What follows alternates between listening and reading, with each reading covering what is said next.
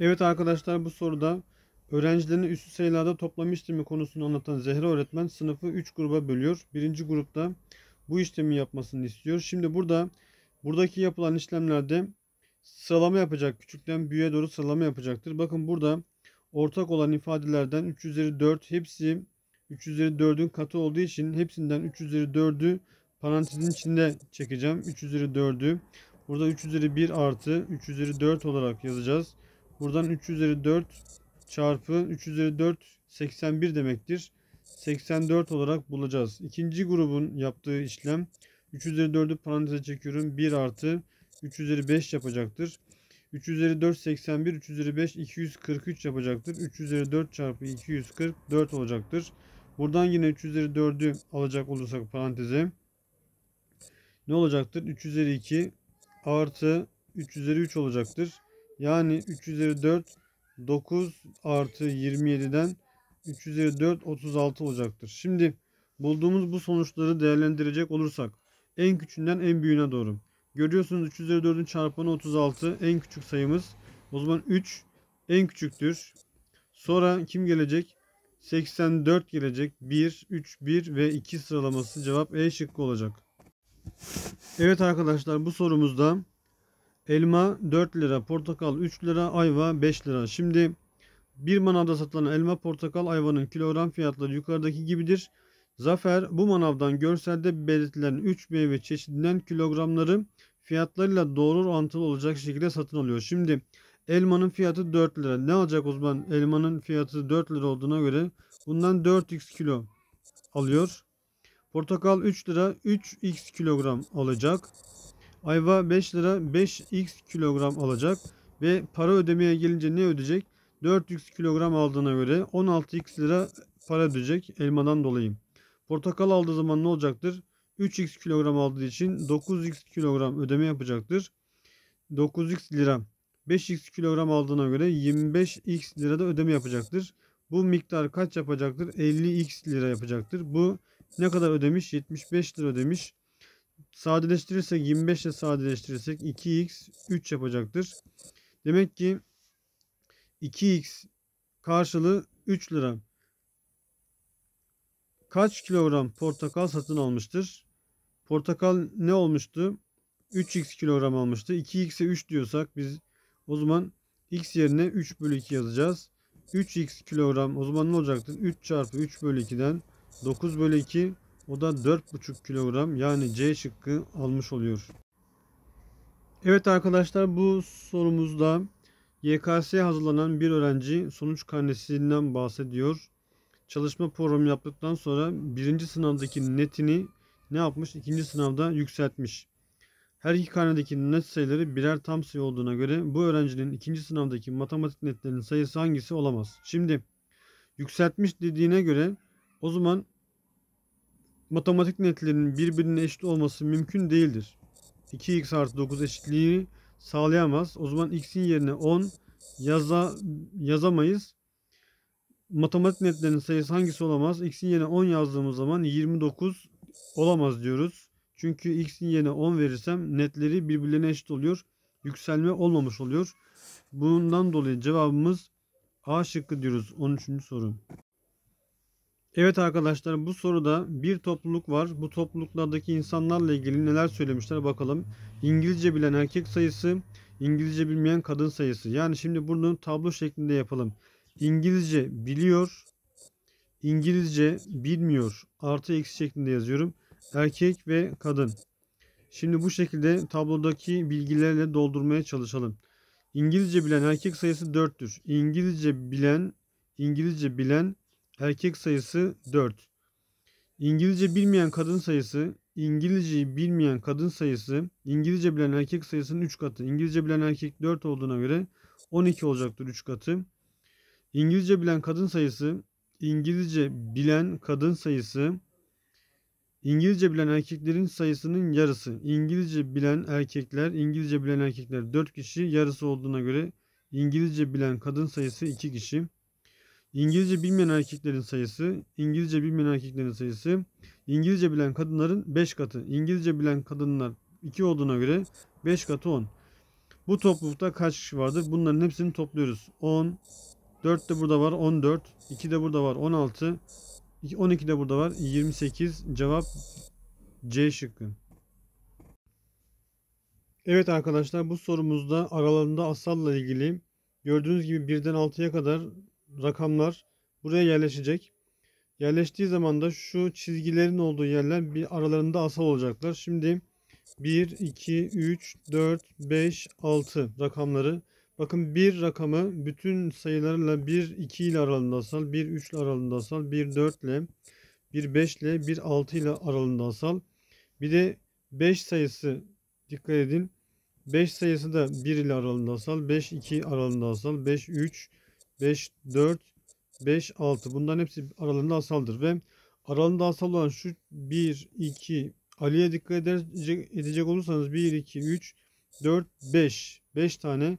Bir de Cemil'e dikkat edin. 1, 2, 3, 4, 5 tane. Yani bunlardan 5 tane yazdık gördüğünüz gibi.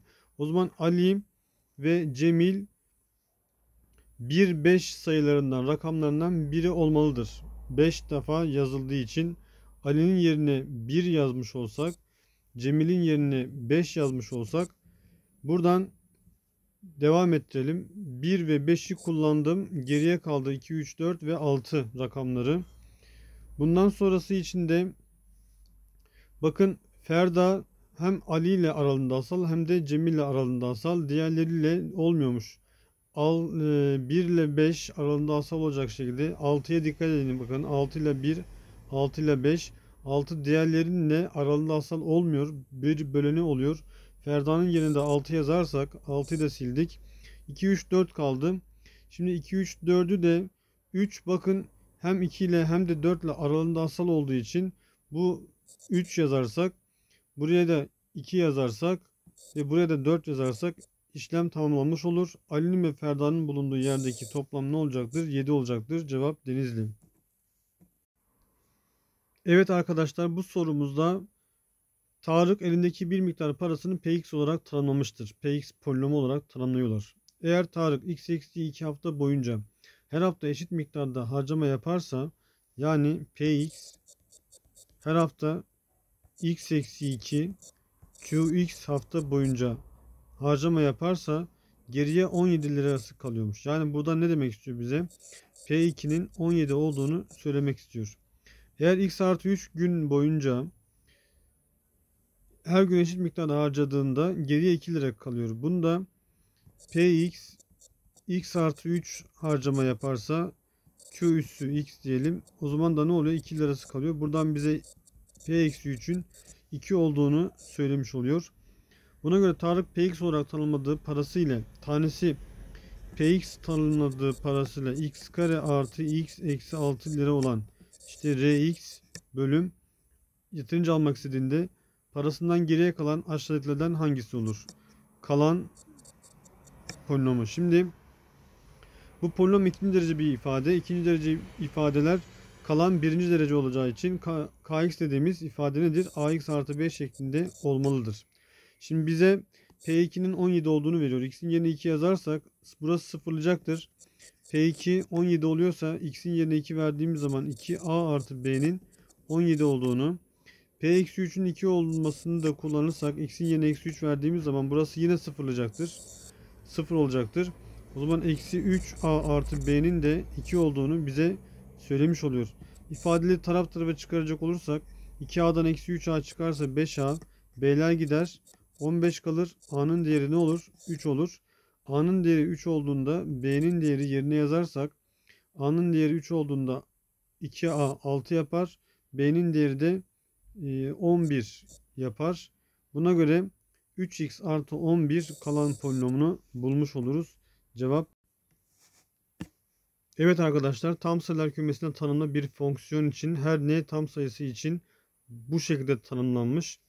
Burada bakın n'nin yerine 1 yazarsak n'nin yerine 1 yazdığımız zaman f6 eşittir f1 artı 10 elde edilir. İkinci ifadede de n'nin yerine 1 yazarsak buradan da f6 eşittir 3 tane f1 elde edilir. Bu ikisi birbirinin eşitse 3 tane f1 f1 artı 10 Demek ki F1 değeri buradan ne gelecektir? 5 gelecektir. F1 değeri 5. F1 değeri 5 ise o zaman ne olacaktır? F6 değeri N'nin yerine 1 yazdığımız zaman F6 değeri 3 tane F1'di. 15. F6 değeri 15. O zaman Fn artı 5 eşittir Fn artı 10 ifadesinde N'nin yerine 6 yazarsak F11 yapar. F6 artı 10 yapar. F6 15 bulduğumuza göre 15 10 da eklersek F11'i 25 cevap A şıkkı buluyoruz. Evet arkadaşlar burada Tahsin Bey kredi kartının borcunu öğrenmek için telefonundan bankanın mobil uygulamasına girer. Aşağıdaki ekranda karşılaşır. Şu ekran ve bu ekran. Burada AB 5, 2 ve 5 aynı AB, BA. 2AB5 lira olan borcunu yanlış hatırlayarak 2BA5 olarak ödeme yapan Tahsin Bey fazladan ödeme yaptığını fark eder. Tahsin Bey'in hesabına 540 lira aktarılmasını sağlar. Yani fazladan ödeme yaptığına göre demek ki 2BA5 eksi 2AB5 bu nedir? Fazlalık olan miktar ve bunun hesaba yatırılmasını ister. Bu çıkarma işlemini yapacak olursak ne olacaktır? Bu 2BA5'ten 2AB5'i çıkaracak olursak 5'ler gidiyor 0. A'dan B çıktığı zaman B'den A çıktığı zaman bir de 2'ler de gidiyor. Bundan da 0. Şimdi burada bakın 100 tane B demektir. Bu yüzler basamağında B. 100 tane B'den 100 tane A'yı çıkaracağız. 10 tane A'dan 10 tane B'yi çıkaracağız. Şimdi buradan 100 B'den 10 tane B çıkarırsak 90 tane B eksi 90 tane A olacaktır. Bu 540'ı verecektir bize. Demek ki B eksi A'yı 6 olarak bulmuş olacağız. B eksi A 6 ise A'ya 1 verdiğim zaman B'nin ne olması gerekiyor? 7 olması gerekiyor. A'ya 2 verdiğim zaman 8, 3 verdiğim zaman da 9 olması gerekiyor. Buna göre Tahsin Bey'in ilk durumdaki borcu 23.95 23.95 yani A şıkkı olabilir. Evet arkadaşlar bu sorumuzda Turgay ve Mert yukarıda verilen boyutları, renkleri özdeş olan 5 kitaptan 2 tanesini seçtiklerinde yan yana duran iki kitabın seçilme olasılığı kaçtır?